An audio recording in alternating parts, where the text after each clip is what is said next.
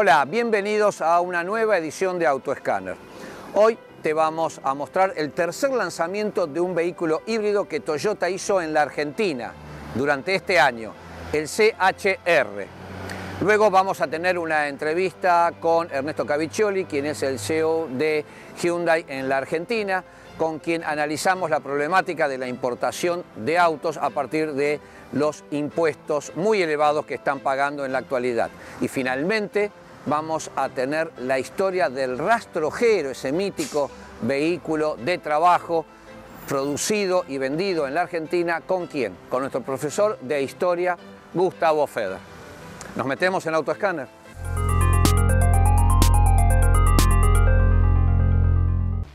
Muy pocos días atrás, Toyota realizó el tercer lanzamiento en el año de un vehículo híbrido, el CHR. Durante esta presentación hablamos con Diego Prado, quien es el gerente de asuntos corporativos de la marca japonesa.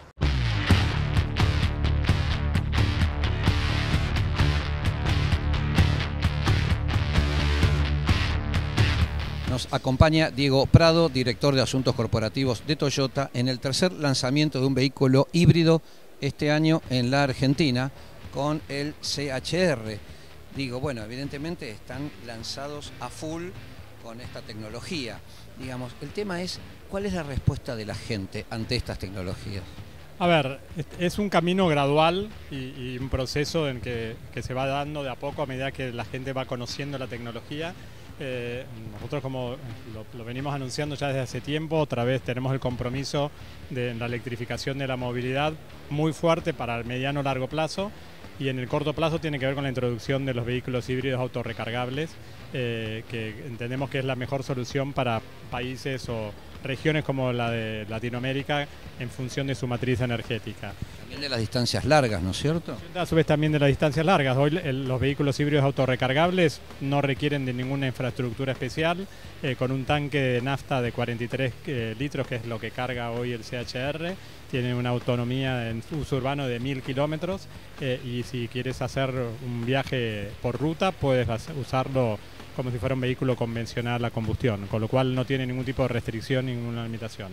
En cuanto a la reacción del público, hoy estamos introduciéndolos con, eh, creemos que a partir del lanzamiento del Corolla, que lo hicimos hace exactamente dos semanas, va a empezar a tener una difusión un poco más alta porque hasta ahora veníamos comercializando el Prius ya del año 2007 que tiene un diseño muy particular, eh, un diseño que por ahí no es para, para el general del público, eh, pero con el, lanzamiento del Corolla, eh, nuevo Corolla y ahora con la CHR creemos que va a tener empezar a tener una aceptación un poco mayor en el público general. Y además con la publicidad que le dio la asunción del nuevo presidente a bordo de un Corolla y rodeado de vehículos Toyota, ¿no? También. Bueno, sí, a ver, por lo que tenemos entendido, el, presidente es cliente de la marca desde hace muchos años, eh, ya específicamente con Corolla, no es el primer Corolla que tiene, y bueno, para nosotros es un orgullo como el de que todos los clientes que tenemos que puedan eh, confiar en, las, prestaciones de nuestros vehículos. Eh, hablando del Corolla, el híbrido, vemos que el precio está como muy cercano a este modelo. Digamos, ¿cómo analizan el casi competencia entre vehículos de la misma tecnología, aunque son de perfiles diferentes totalmente. claramente, a ver, si bien comparten la misma plataforma, comparten la misma motorización, tienen muchos elementos en común. Eh, lo, que, lo que la gran, pero gran diferencia tiene que ver con el diseño del vehículo. Eh, el, Corolla es un, es un diseño, es un sedán, es un sedán más amplio en cuanto al habitáculo. Con para un público más, para un público además más, más, eh, más conservador, ¿no? ¿no? sé si más conservador porque en, realidad ahora con el nuevo lanzamiento tiene un diseño bastante un poquito más eh, deportivo y además con el lanzamiento de la motorización 2.0 nuestros clientes se van a dar cuenta que es un vehículo en los que también te podés divertir perfectamente. En cambio, el CHR es un crossover, es otro, es otro concepto de vehículo, eh, sea en cuanto al despeje, del vehículo respecto del suelo y en cuanto a las prestaciones y fundamentalmente en cuanto al diseño, ¿no? Porque creo que es la clave, ¿no? Se caracteriza por un diseño muy disruptivo, muy innovador, con líneas muy afiladas y que apunta a un público que quiere diferenciarse, que quiere eh, mostrar el vehículo que tiene. Con lo cual creemos que no compiten, que no van a competir porque apuntan a públicos y segmentos de clientes muy diferentes. Este tipo de vehículos tienen, eh, pagan 5% de impuesto eh, externo para ingresar al país por su característica de hibridación. Ahora, pero también son muy sensibles al movimiento del dólar. ¿Cómo están evaluando ustedes el comportamiento de la divisa en los próximos meses? A ver, son vehículos que están atados a dólares, son vehículos de producción extrazona. El, el, CHR especialmente, estamos hablando de CHR, ¿no? el Corolla es diferente porque es de producción regional y ahí no, no, no, no impacta esto. Eh, además tiene muchos componentes de contenido regional, eh, con lo cual eh, no, no, está tan asociado a la variable de la divisa.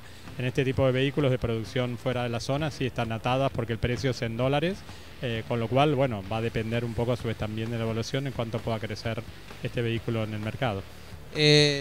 vamos a la industria, este año está cerrando, un año complicado, un año a la baja, está cerrando este año y donde ustedes están muy bien posicionados con un 14% de participación, con la Hilux en el primer lugar, seguramente se va a confirmar.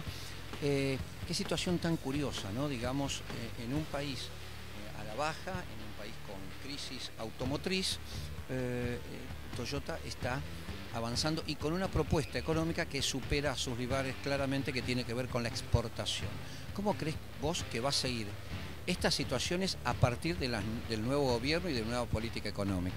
A ver, la situación de hoy de Toyota es, creo que es el fruto del trabajo de muchos años de, tratar de establecer en la Argentina un proyecto sustentable desde el punto de vista eh, de balance entre lo que es mercado doméstico y mercado de exportación. Hoy el 80% de la producción de Toyota Argentina está dirigida al mercado de exportación eh, y a su vez dentro de ese 80% está muy diversificada porque no somos eh, no tenemos una dependencia con el mercado de Brasil, como es lo tradicional en la industria. Hoy del total de las exportaciones solo el 40% representa el mercado brasilero, el resto son otros 20 países a los que estamos exportando en toda la región de Caribe y Latinoamérica. Con lo cual, la explicación un poco de la situación de Toyota, hoy no hemos sido ajenos a la realidad del mercado argentino, pero bueno, no dependemos solo del mercado argentino, está muy fuertemente apalancada en el mercado de exportación y el mercado de la región ha seguido traccionando a lo largo de, todo este año y hoy nos ha permitido eh, tener récord de exportaciones en este año eh, y bueno, ser la empresa que más produce y más exporta del país. Bueno, para ir terminando, eh, ¿para cuándo va a venir una Hilux híbrida?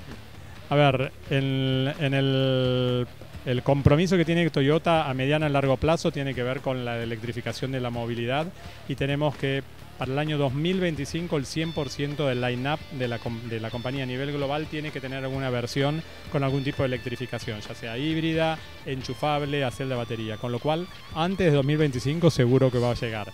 No te puedo dar la precisión, es muy probable que sea con el, cambio de full, el full model change o cambio de modelo, pero bueno, todavía no tenemos esa fe. ¿Va a ser cuándo? Todavía no, podemos, no, no tenemos la precisión. Digo, muy amable, muchas gracias como siempre. Estuvimos con Diego Prado, quien es el director de Relaciones Institucionales de Toyota en el lanzamiento del CHR. Ya seguimos con más Autoescáner.